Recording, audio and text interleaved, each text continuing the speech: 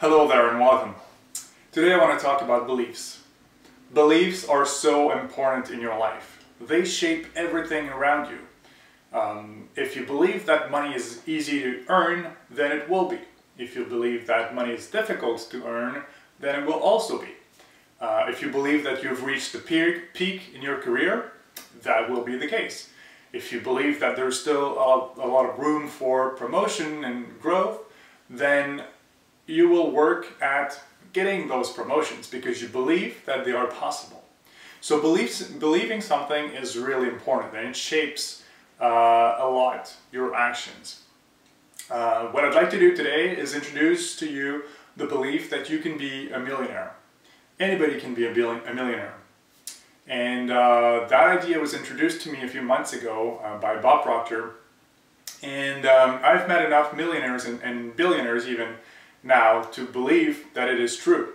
Um, I've had positive examples of people who um, earned money just by expanding their mindsets. Um, so that's what you need to do. You need to believe that it is possible first to work at making it happen. So that's, that's why believing is so important because that's what will allow you to work towards a goal. If you don't believe that it is possible at all, you won't put any efforts into it, which, which makes sense. Um, so that belief might sound crazy to you, and, uh, and it's normal because um, our beliefs are based on the majority of people's beliefs.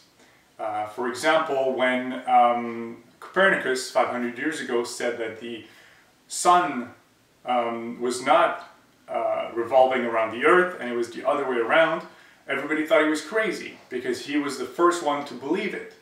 And that's not because people thought he was crazy, that, that he was wrong. Uh, it's just because most people believed that the sun was revolving around the earth. Uh, so now we know that he was right. He, he, even though he was on his own at that time, uh, he was right still. And, and, that doesn't mean because you're on your own either that you, your beliefs are right, but it just doesn't necessarily mean that you're wrong either. So you have you need to have some level of um, forgetting about what other people think if you want to do this, uh, if you want to become a millionaire. So the way we, we acquire new beliefs is it depends on our existing pool of beliefs. If we hear something that's close enough to our current beliefs, then we are willing to shift a little bit towards that belief. And if we hear it often enough from many people around us, or um, from someone of authority. Uh, for example, when you were a kid, everything your parents said you believed because they were they had authority over you. Um, so that will shift your beliefs gradually. Uh, another way of shifting your beliefs is repetition. So if you repeat something over and over, uh, no matter if it's right or wrong, uh, you will start believing it. So when you start believing something, you will start acting towards that goal. So, as I said, the idea that I'd like to introduce to you is that you can be a millionaire. And the way to do that is to uh, reduce it to the ridicule. So if you break it down, break that million down, and divide it many times, uh, you will reach an amount that's a lot easier to handle or to play with. And what I did is I divided it until I reached $2. So now my objective is to earn $2 per month. Uh, there are many ways to do that, and I think that's an objective that most people will agree is easily doable.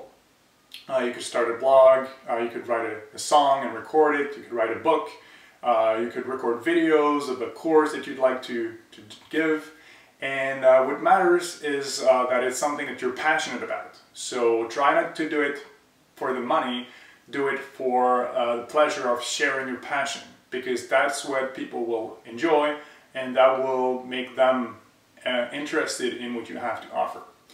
So as I said, the first objective is to earn $2 a month. So I think that's a pretty easy, reachable objective that most people can, um, can do and they can agree that it's, it's doable, so they will actually do it. And then once you've reached that, then you change your objective to earning uh, $2 a week. And that's only multiplying your current objective, your first objective by four, so that's still easily doable. I think I think most people can will agree that two dollars a week is, is easily doable. And when you reach that, then you make it $2 per day.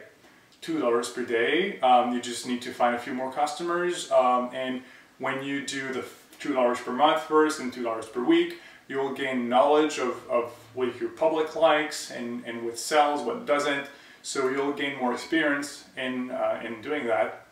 And then once you've reached your $2 per day, then you multiply by 24 for $2 per hour. And uh, while that's a bigger objective, but as I said, you've built at that point the knowledge and uh, that's, that becomes easier and easier to do. Um, once you've reached the $2 per hour, then your last objective is $2 per minute. When you reach that, when you earn $2 per minute for every hour of the day, you are a millionaire. So the last few steps might seem foreign to you and you won't know exactly how to do this right away. That's fine. You don't need to know that when you start. All you need to focus on is earning $2 per month. So when you've done that, uh, then you will continue, continue on and you will learn how to earn your million. So that comes by doing it. So the really, what's, what's important really is to start. Start with your first objective. So what you need is small goals with a big vision. So the big vision will get you to the, to the million and the small goals will keep you active daily to work towards that. And, um, and that's, the problem with that is that the mind doesn't see the connection between $2 per month and a million, but there is one. It's just one step in the process of getting there. So I hope that you enjoyed this video. Uh, feel free to give me your comments. I like to hear about you, what you think of my ideas, and what is your big project. Uh, please share it with me as well. I love hearing back from you.